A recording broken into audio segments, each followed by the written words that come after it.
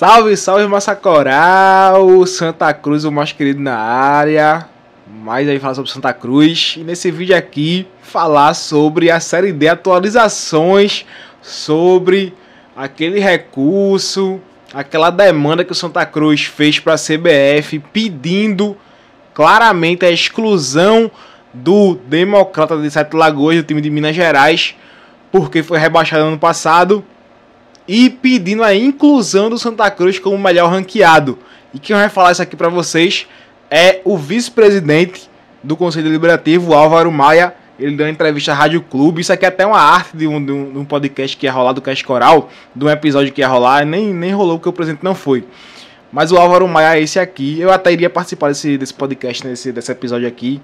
E não rolou. Mas o Álvaro Maia, esse aqui, o vice-presidente do conselho, e ele falou abertamente e claramente tudo que envolve essa solicitação, né? A CBF, que parece que só tem até amanhã para responder o que vai ser decidido. E Álvaro disse que pode recorrer até o STJD para ver se está jogar essa vaga na Série D aí. Então, Antes de começar, a gente pede que vocês nos ajudem a chegar aos 21 mil inscritos. A gente sabe que tá complicada a situação Santa Cruz. Mas continuamos aqui trazendo conteúdo diário. Diário, mais ou menos, né? Agora não tá sendo tanto, tanto diário porque às vezes não tem assunto, pessoal. Eu quero fazer um vídeo aqui, mas não tem assunto. Eu vou falar sobre o quê? Mas agora, isso aqui é um assunto até que tá, o pessoal tá querendo, tá interessado, tá querendo saber. Né? O último vídeo que eu coloquei deu mais de 7 mil aqui. Então o pessoal está interessado. Atualização sobre esse caso da Série D aqui. Democracia de Lagoas, Série D do Santa Cruz, joga ou não joga. Enfim, vou colocar o áudio para vocês aqui do Álvaro Maia falando tudo sobre essa solicitação e o que ele espera do Santa Cruz e da CBF ainda desse ano para a Série D. Então, ouçam aí agora e é isso. Na verdade, foi um grupo de sócios e conselheiros do Santa Cruz que resolveu, através de um requerimento administrativo, apresentar um pleito junto à entidade máxima do futebol, visando a inabilitação do Democrata de Sete Lagoas. E esse pleito, Jorge, tem base na lei federal, a lei federal que rege a matéria, que é a Lei Geral do Esporte, precisamente no seu artigo 193. Esse pleito encontra-se amparado legalmente e o nosso intuito, na verdade, é discutir a habilitação da equipe de Minas Gerais, o Democrata, que foi rebaixado no Campeonato Mineiro do ano passado. Ele está na segunda divisão do Campeonato Mineiro e, por conta disso, deve a entidade máxima do futebol analisar uma revisão precisa, precisamente na habilitação desse clube. Por quê? Jorge, explico. A escolha do Democrata de, de Sete Lagoas só ocorreu depois de um verdadeiro efeito dominó de desistências de clube lá em Minas Gerais. Isso está indo de encontro à Lei Geral do Esporte. É uma lei federal. É a Lei 14.907, aliás, 14.597. Essa lei disciplina em seu artigo 193 que deve ser observado critérios técnicos para qualquer organização esportiva participar de uma competição. E essa competição sempre, se, é, é, sempre levando em conta a competição anterior. Neste caso, o Campeonato Mineiro. A, o Campeonato Mineiro, essa equipe foi a pior colocada. Ela, ela foi é, rebaixada. Ela não poderia participar de um campeonato da envergadura de um campeonato brasileiro. Por conta disso, Jorge, os sócios e conselheiros do Santa Cruz pleiteiam que a CBF garanta que os critérios técnicos para a participação desse campeonato brasileiro da Série D sejam respeitados. Por conta disso, Jorge, o, o pleito atual apresentado através do, do, de um recurso administrativo é, encontra amparo também no Regulamento Geral de Competições da própria CBF, que diz o seguinte, Jorge: nas competições realizadas e coordenadas pela CBF, para as quais a classificação dos clubes decorra da colocação destes em competições estaduais organizadas pelas federações, caberá à CBF a indicação da vaga a um novo clube, valendo-se de critérios técnicos, destaco para os ouvintes, critérios técnicos, desde quando um último colocado, um, um rebaixado para a segunda divisão, é, tem direito a figurar num campeonato brasileiro. Vou mais além. Esses critérios devem ser isonômicos, equânimes e que privilegiem o fomento do, do futebol, podendo adotar, aí que vai, é com base nesse artigo, no artigo 103, parágrafo 4 do Regulamento Geral de Competições, que o Santa Cruz Futebol Clube, através dos seus sócios e conselheiros, pleiteia essa vaga para o tricolor do Arruda, levando em conta o ranking nacional de clubes. O Santa Cruz é o clube melhor ranqueado nacionalmente e está fora da Série D. Ele tem, no ranking nacional, ele está acima de todos os clubes, dos 64 clubes que estão hoje figurando na Série D de 2024, o Santa Cruz é o melhor ranqueado nacionalmente. E está fora dessa competição em detrimento de um clube rebaixado para a segunda divisão do Campeonato Mineiro.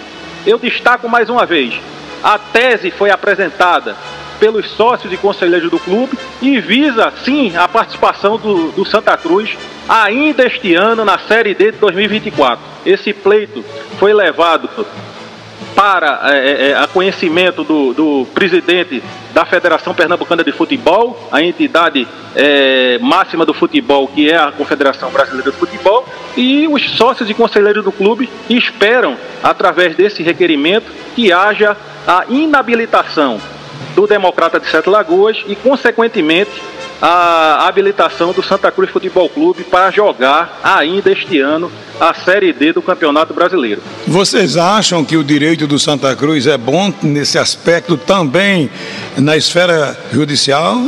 Veja, Jorge, é, o pedido ainda está na esfera administrativa. Nós vamos seguir todo o trâmite administrativo, levando em conta que o futebol brasileiro precisa, e mais do que nunca, de representatividade, de fomento para o esporte, um clube da tradição do Santa Cruz, que é o melhor ranqueado, vai engrandecer essa competição. Neste ponto, a gente está pedindo, o pedido é específico, para que, no caso de desistência do clube, desses clubes que figuram aí na, na Série D, é, que está havendo, na verdade, Jorge, uma incompatibilidade entre o artigo 4 e 2 do regulamento da competição da CBF.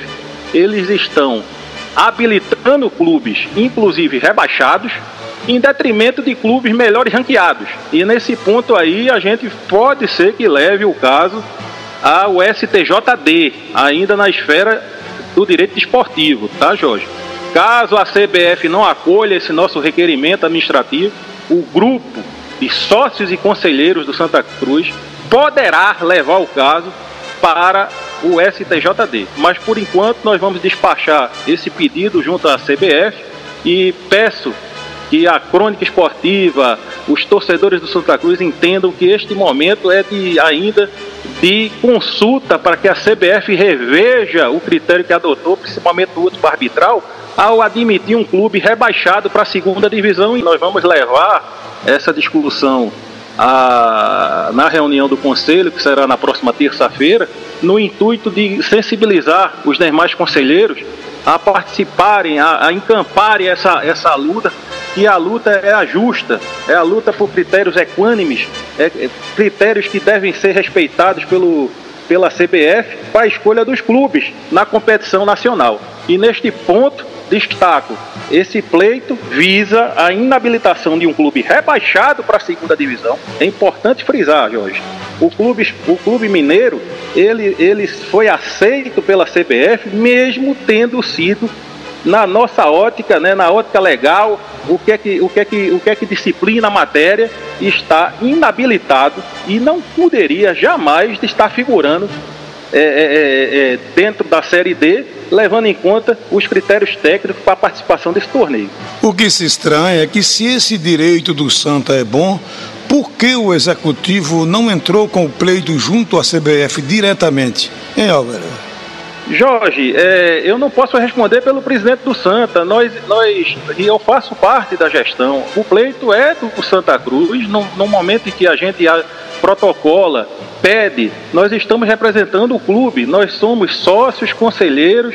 Hoje eu estou como vice-presidente, mas o, o volto a frisar. E é, todos os sócios e conselheiros têm o direito de pleitear em nome do clube. Isso é um direito que assiste a qualquer torcedor, a qualquer sócio pleitear um direito em nome do clube. O presidente do clube está sensível à questão, ele está acompanhando, ele está ciente do nosso pedido e, enfim, ele tentou todas as vias administrativas e políticas. Infelizmente, a Federação de Pernambuco aqui, através do, do nobre doutor Evandro, também tentou no ano passado, inclusive foi noticiado que ele tentou inclusive o aumento da, da Série D. Então, esse pleito, como eu disse antes, ele visa a inabilitação do Democrata de Sete Lagoas. Esse pleito foi apresentado por um grupo de sócios e conselheiros e o presidente Bruno Rodrigues está ciente da, da, nossa pretensão. Nós comunicamos ao presidente do clube que iríamos ingressar com esse pedido na esfera administrativa. E na, na, na próxima terça-feira haverá uma reunião do Conselho Deliberativo onde esse pleito será apresentado aos demais conselheiros. E volta a frisar, o, o, o, o fato é que nós protocolamos esse pedido para que a CBF, através do presidente Edinaldo Rodrigues, reveja esse critério e premie o Santa Cruz como melhor ranqueado nacionalmente para jogar a Série D deste ano. Então vocês querem que esse pleito seja respaldado pelo Conselho Deliberativo na próxima terça-feira? Isto, ele vai ser levado a, ao conhecimento dos demais conselheiros e vai ser deliberado se o Conselho Deliberativo encamparar essa, esse nosso pleito e efetivamente, volto a frisar, esse pleito não é do Conselho, não é não é meu, não é do sócio, é visando o, o Santa Cruz voltar à divisão nacional. Mas, mas pode ser do Conselho após a reunião de terça-feira, o pleito? É, Jorge, é, o pleito já foi apresentado por sócios e conselheiros. O Conselho Deliberativo será comunicado desta pretensão, caso ele encampe também, aí haverá a deliberação e efetivamente esse pleito será também do Conselho. Vocês têm alguém no Rio acompanhando a solicitação? Sim, Tem algum temos, advogado? Sim, temos, temos, temos sim, temos, temos advogados, eu sou advogado, nós protocolamos, então vamos despachar essa semana lá na CBF esse pleito. E aí vamos a ver o que é que, que, é que a CPF decide em relação a esse pleito que foi apresentado. Amigo, parabéns pela luta. Vou torcer que você tenha sucesso, que o nosso tricolor, falo em nome de Pernambuco, tenha sucesso com essa ação aí desse grupo de sócios e conselheiros. Tem mais algo a acrescentar, pois não?